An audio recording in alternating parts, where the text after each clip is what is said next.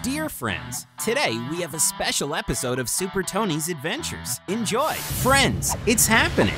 We're back in our beloved Trevor Henderson universe. Today, we will meet a formidable and mysterious giant known as Day 17. As I said, this is one of the giants in the Trevor Henderson universe. It moves on four legs and has a huge, long neck, which is usually hidden in the clouds along with its head. Tentacles hang from it right down to the ground. With them, Day 17 can take people straight to the sky. No one knows what happens to the giant's victims there. After analyzing this picture of the monster, we can conclude that it is about 11 kilometers high. In addition, it is known that Day 17 is a storm creature because its appearance is always followed by storms, hurricanes, strong winds, rain, and lightning. Generally speaking, this gigantic creature is capable of causing enormous damage, or even destroying an entire world. It is the ability to manipulate reality and people's faith, and the laws of physics simply don't affect it. The monster's skin is incredibly thick and strong, so no weapon in existence is capable of harming it. They say that only a doomsday device can destroy this giant. It is a hypothetical device capable of destroying all life on Earth or even Earth itself at once. Therefore, because of its abilities, Day 17 is considered one of Trevor Henderson's most powerful giants. But is it as dangerous as it looks? Hmm. Did you know, for example, that the creature's real name is the Wandering Faith? And there is an explanation for that. There is a theory that with its tentacles, the giant takes people of faith to heaven and gives them eternal life in paradise in gratitude for their faith in God. So, according to this theory, Day 17 is a harmless creature of divine origin. However, another version claims that the monster, on the contrary, takes lost souls, after which eternal torment awaits them.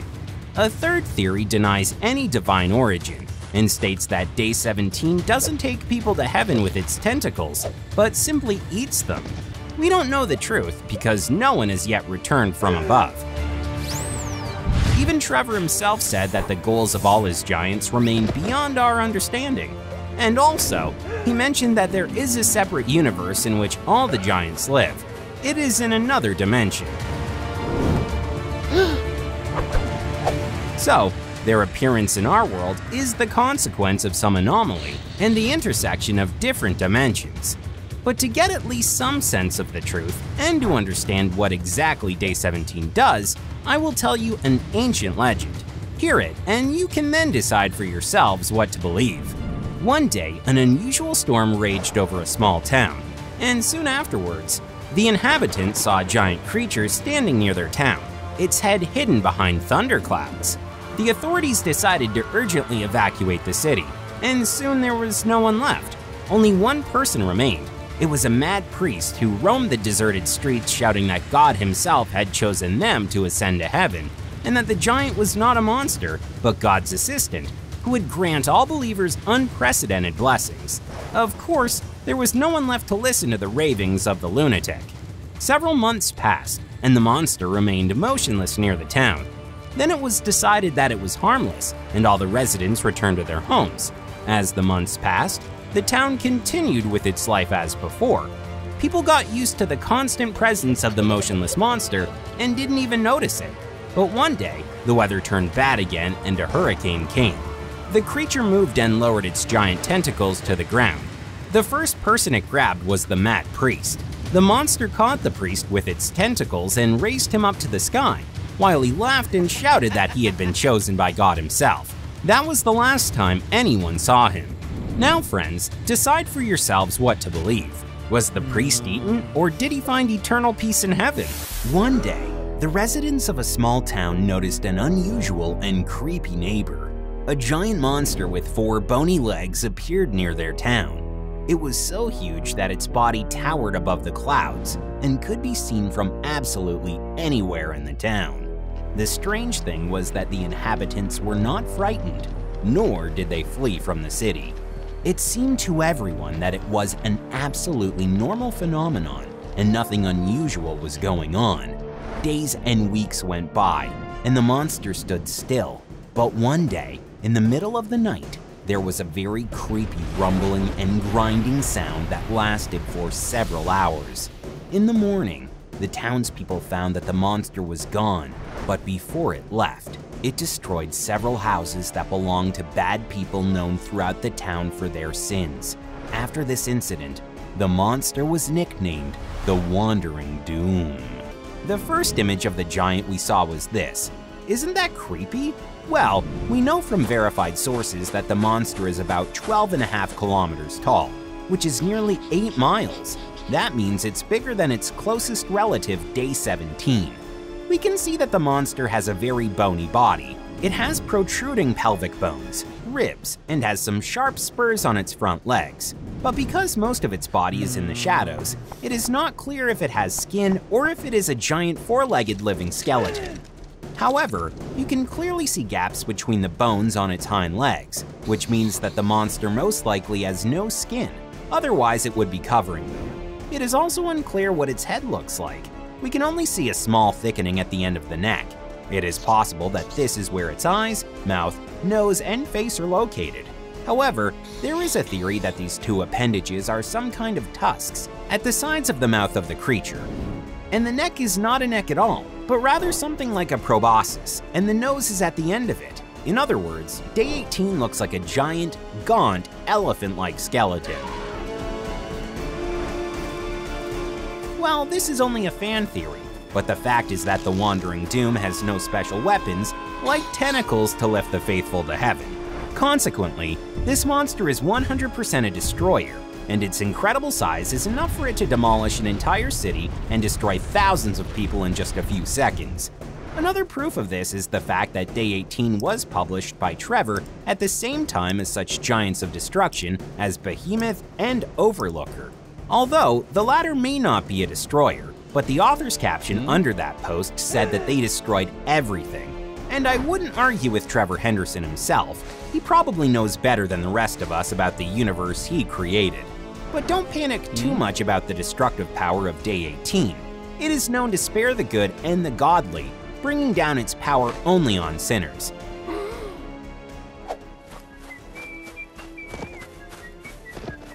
Thus, Day 18 and Day 17 work together. One punishes the sinners, the other grants ascension to the faithful. Naturally, like Trevor's other giants, this one has a super strong body, which no modern weapon can damage. And what is there to damage if, as we have already found out, it is a walking giant living skeleton? There is also the erroneous belief that Day 18 is capable of walking on water. This, by the way, is not only impossible, but easily disproved by the original image. Take a closer look at it. You can see that the giant is not walking on water, but on land, on the other side of what looks like a huge sea or ocean. In general, there appears to be very little information about the Wandering Doom online. Trevor himself never gave any details about the giant, and most known facts have been found by numerous fans.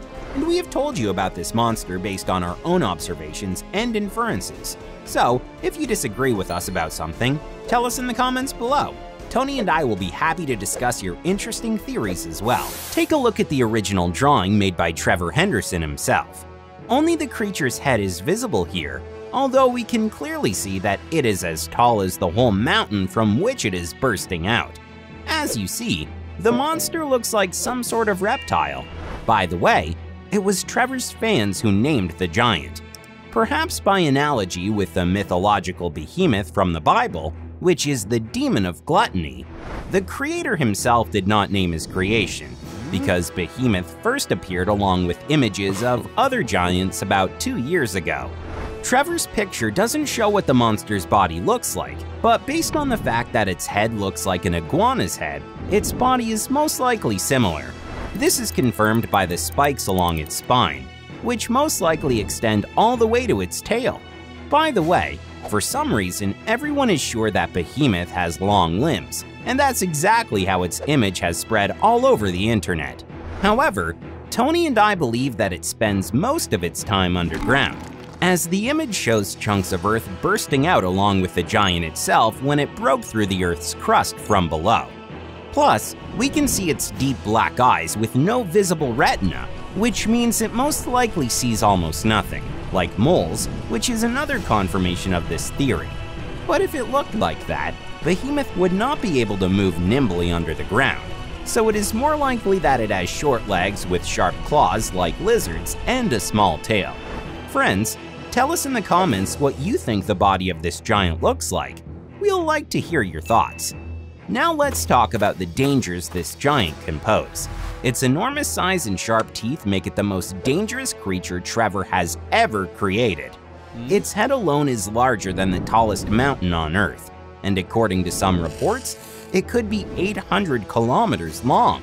So, it could cover the whole of the UK or Italy with its body. But this is just a guess. In fact, Behemoth could be even larger. Even if it is calm, it could destroy an entire metropolis just by walking, causing an earthquake or simply crushing it. On top of that, it has a mighty roar. This giant is able to destroy buildings with it, and a person can not only go deaf, but also receive severe damage to their internal organs. But the main threat are its giant and powerful jaws, which can rip out a huge piece of land, taking thousands of people at a time. Not in vain, Behemoth is one of the destruction giants, because if it wants to, it could even destroy our whole planet. Imagine what will happen if it makes thousands of huge tunnels, releasing magma to the surface and destroying all life on Earth. Not to mention the fact that it could cause powerful earthquakes and giant tsunamis. On top of all this, Behemoth has strong scales like a lizard, and given its size, most conventional weapons won't damage it at all. Perhaps a nuclear warhead would do the trick, but in addition to destroying the giant, it would destroy all life within a radius of about 100 kilometers around.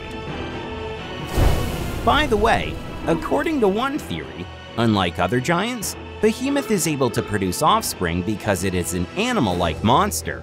Like other reptiles, it lays eggs, only these can be up to 10 kilometers in diameter. By the way, Behemoth is probably a she, Yes, yes, most likely the giant is a female. The thing about lizards is that only males are brightly colored, and since our giant has a rather pale skin, this could mean it's a girl, although this is only a guess. By the way, according to another theory, Behemoth is the ruler of all giants, and judging by its look and its huge and sharp fangs, we can conclude that it is a carnivore. And what could a giant, who is at the very top of the food chain among all Trevor's creatures, feed on? Other giants, of course. For example, its diet definitely includes such titans as Day 17, Day 18, and several others. Well, to be honest, it's not much of a leader if it devours its own underlings. Friends, I'd like to point out that almost everything we've told you about Behemoth is based on rumors and various fan theories. Behemoth is one of the most mysterious giant creatures Trevor has ever created, due to the lack of information about it. The artist himself never revealed any details about it. Perhaps he wanted to stir the imagination of his fans and provoke a lot of different arguments and discussions. I think his plan worked. What do you think of this giant? What interesting theories do you have? Tell us in the comments and the best answers will be featured in our next episode. Well, give us a like and subscribe so you won't miss the new episodes of Super Tony. Bye bye!